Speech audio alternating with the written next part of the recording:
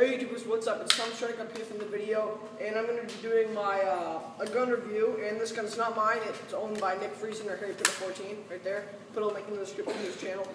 Um, this is his gun, but he bought it off of me, and this is the $96 Lancer Tactical M4A1 off of Airsoft GI. This gun is so beast, man. I actually think it's better than any other gun, and uh, that's why I'm trying to say it sarcastically, because this gun is actually a piece of crap, and I'm going to show you guys what I think of it.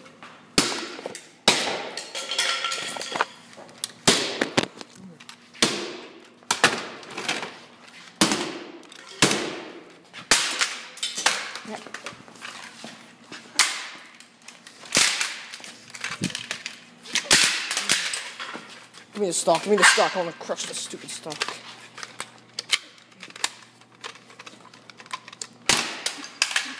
Look at my gun. Alright, guys. Camera fell there. That was not supposed to happen.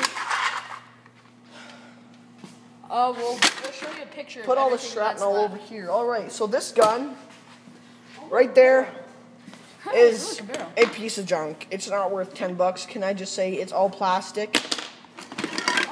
It's got a, it's got a, a gearbox, a metal one, but it's, it's still junk. It's got a completely plastic stock. Guardrail. And the jamming part of the gun, the barrel. Oh, this. Thanks for watching, guys. Please leave a like and uh, Watch share so everyone can know this gun's a piece of crap. In our next video, we'll be burning an iPod for the fun of it.